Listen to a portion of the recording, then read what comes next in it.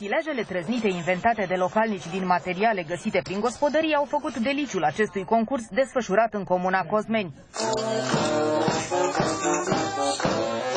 Fiecare echipaj s-a străduit să inventeze un utilaj cât mai ciudat și mai amuzant. Inclusiv numele cu care l-au botezat nu putea fi unul obișnuit.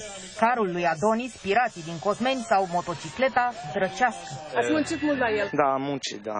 Încă nu e terminată. și intrați în concurs. Da, da, da.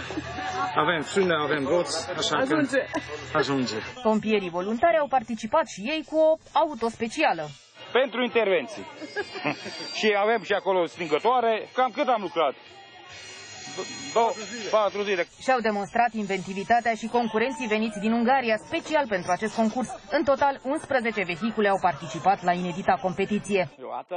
Am venit aici să ne distrăm. Am lucrat toată noaptea la această mașină, care este confecționată din cadrul unei săni de iarnă. I-am montat patru roți și frână.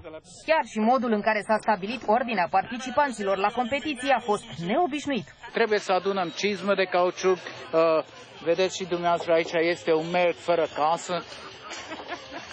Și până să le adunăm, și dacă putem să adunăm toate la un loc, atunci suntem primii care participăm la concurs.